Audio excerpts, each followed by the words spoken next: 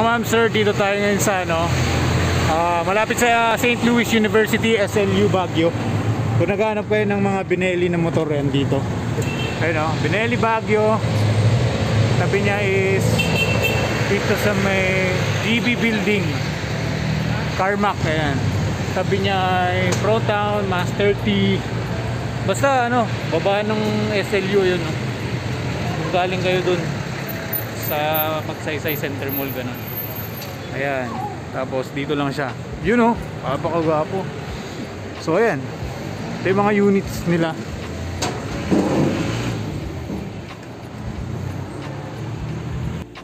So ayan. Dito na tayo sa loob. Benelli, Baguio City. Alright. so ito yung mga bikes nila. Ito yung may classic scoot sila. Meron din 150 na ano. Yan. Manual na underbone scooter. Ito. Ayun. Meron tong 135 na cute oh.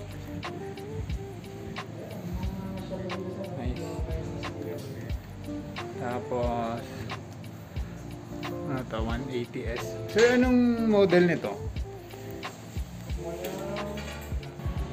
Yan, Classic Lovers Panarea yan. Benelli Panarea. Meron din dito. White tsaka black. Yan.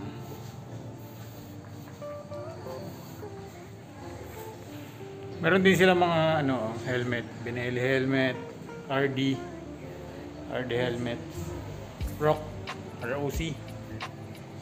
Anong basa dyan? Rock, ROC, basta yan. Ayun, ah. Ayan, ah, best seller daw nila din dito sa Baguio, Benelli Baguio. Ito, Moto B 200cc Evo. Yun. Tapos ano pa isa, sir? Ito, 20 water ito. T TNT. TNT 135 yun. Cute lang siya kasi oh. Sakyan mo nga, Soy. Joke lang, di pwede sakyan. Anong height mo, Soy? 6'3"? 5'3". 5.2. Oh, sakto yung pa oh. Cute. Sakto-sakto.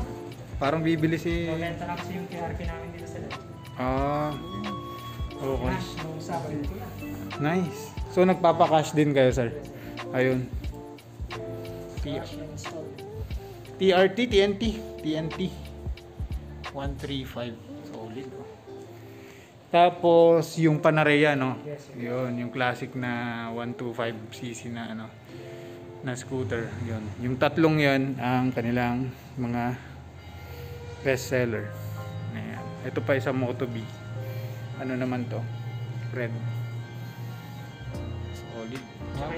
Sir, binili, taga, ah, Benelli 502C. Ayun, no? Ang gwapo. Lakas maka, ano, no? Ducati, no? Parang Javel, no? Solid.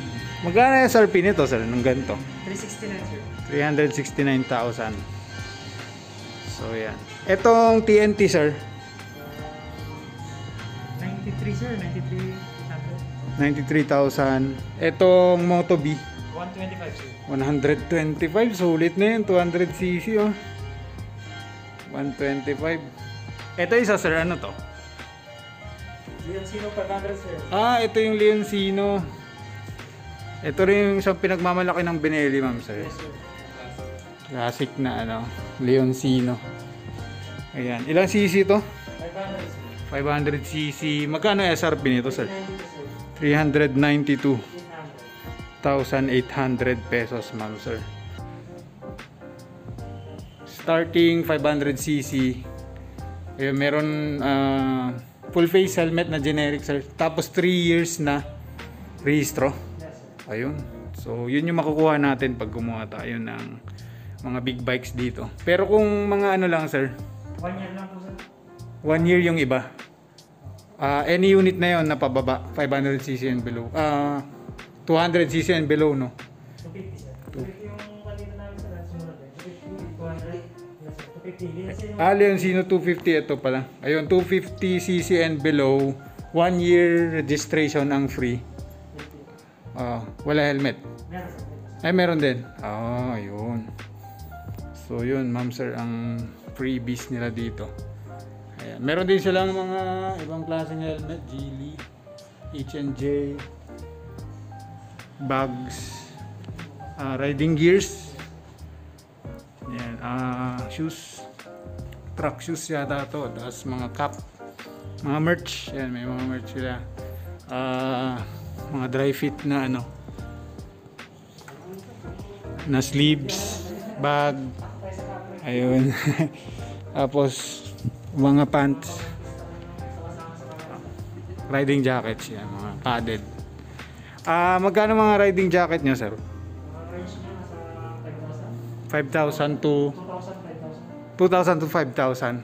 Ano yung pinakamura dito, sir? Yung sa baba sa'yo lang. Ito. 2,000 may higit sir. Ito, 2,000 plus Oz Racing. 2,700. 2,790. Ang pinakamahal, sir, ay Nasa 5,000 sir. ito na. 5,200. Hindi ko kasi alam mo yung price nito. Mm. Ito, 5,200.